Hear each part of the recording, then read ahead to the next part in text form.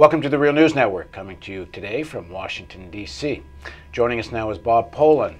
Bob is a professor of economics, founding co director of the Political Economy Research Institute, the Perry Institute, at the University of Massachusetts Amherst. Thanks for joining us. Thank you. We've talked in previous interviews about stimulus and how it affects the economy. And for those of you that haven't seen those interviews, just do a search on our site for Bob Pollin and you'll, you'll find them.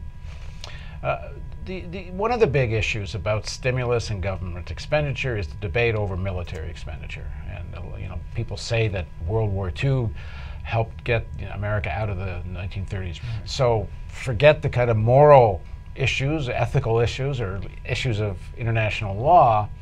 This expansion into Afghanistan may have some kind of stimulus effect in the American economy, and maybe that ain't so bad. And the whole military industrial complex maybe that ain't so bad because it is a way of, of stimulus. What's your take on this? Well, it is an important debate because, of course, given the current severe recession, people look back to the 30s and what got us out of the Depression.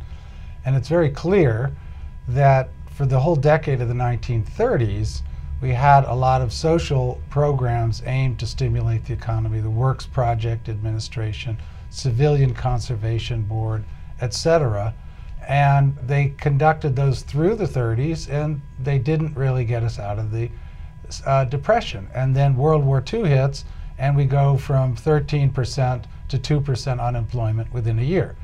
So the story is war is the answer to depressions. And then part of the right wing critique is the other piece of that story is, and government stimulus to create jobs is not. And government stimulus on anything other than war is not. Now, that's that's not the crux of the matter. The real crux of the matter is that it was government deficit spending, borrowing money and spending, injecting that into the economy that got us out of the 1930s depression. And it was only that the, the war was the only thing that had the political support to raise the level of deficit spending necessary to overcome the depression. So you're saying it's not a it's a quantitative issue. It's the amount of deficit spending exactly. on the war yeah. as compared to relatively little on job stimulus. That's, That's right. the real story. That's the real story. And in fact, I mean, if you actually add up military spending versus domestic spending, comparing dollar for dollar, a million dollars on the military versus a million dollars in education or clean energy, military spending is actually a bad job stimulus. Education, clean energy, healthcare, those are much more effective as a job stimulus. The only issue is politically whether we can move enough money into those areas to become effective sources of new job creation. So, how do you know that? Okay, this is research that I've done based on US statistics from the Department of Commerce. Using the input output model from the Department of Commerce, what we basically find is as follows that if you spend a million dollars on the military, you create 12 jobs. If you spend a million dollars on clean energy, you create 17 jobs. If you spend a million dollars on healthcare, you create 20 jobs. If you spend a million dollars on education, you create 29 jobs. So why? Get, get into the actual nitty gritty right, of this. Right. So why is that the case? And okay. How do you, how do you just, Okay, so there's it? basically two factors going on here. Number one is how much money you spend domestically versus how much you spend abroad. Obviously, military spending has a high proportion of spending abroad, and that's not going to create jobs in the U.S these other areas that I mentioned, education, healthcare, clean energy, are much more focused on the domestic economy. But, but isn't most of abroad still American weapons produced here? Uh, food supplies in little packages produced here. Yeah, there is, but still, when you're sending checks, for example, to soldiers abroad, or you're you're building Camp Victory in Iraq, uh, that's work that's being done in Iraq, and that there's a lot of money doing that. Or and something like a thousand military bases around the world. Yeah, or Operation Enduring Freedom in Afghanistan. Whatever we might think about it in political terms, as an economic phenomenon, it's happening in Afghanistan and Pakistan. So, in terms of job creation, that's sucking uh, money out of the U.S. where you could be creating jobs here. And the second factor is what we economists call labor intensity, which is the relative amount when you spend a million dollars, the relative amount that goes to hiring people versus spending on machine, on land, uh, on transportation, on energy.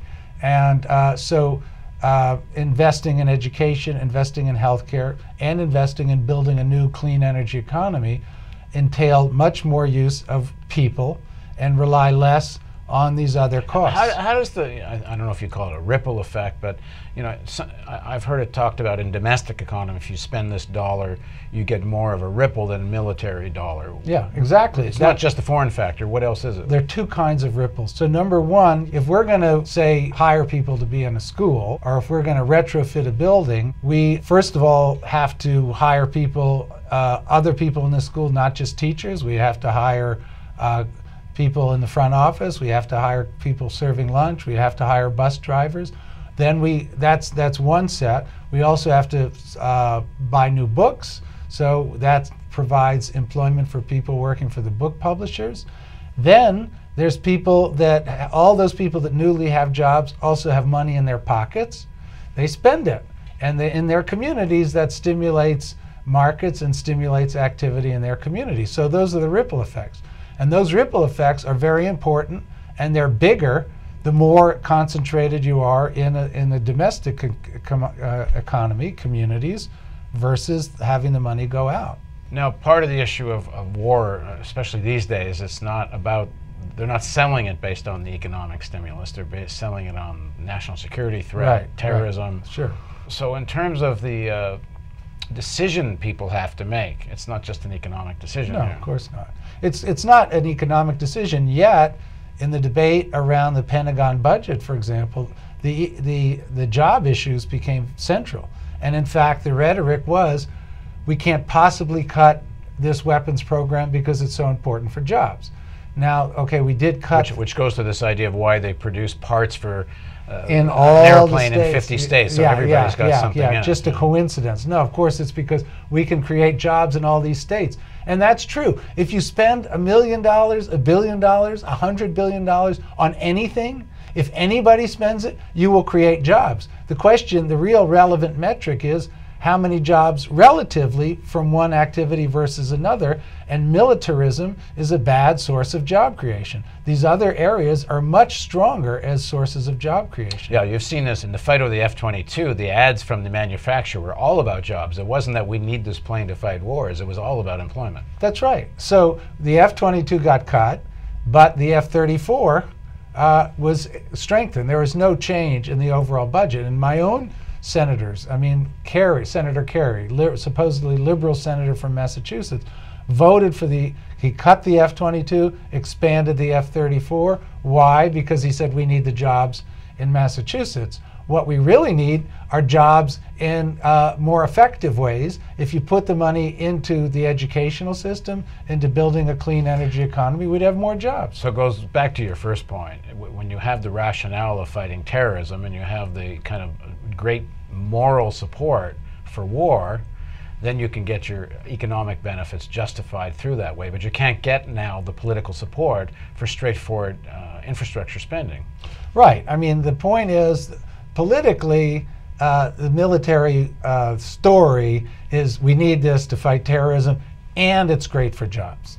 We can debate whether it's great for fighting terrorism. I can tell you flat out that it's not great for jobs. It's bad for jobs relative to other ways of spending the same amount of money. Well, so in the next segment of our interview, let's talk about this argument that wide scale, large militarization has been one of the driving forces of this successful American economy, both in terms of innovation and on other fronts. So please join us for the next segment of our interview with Bob Pollin.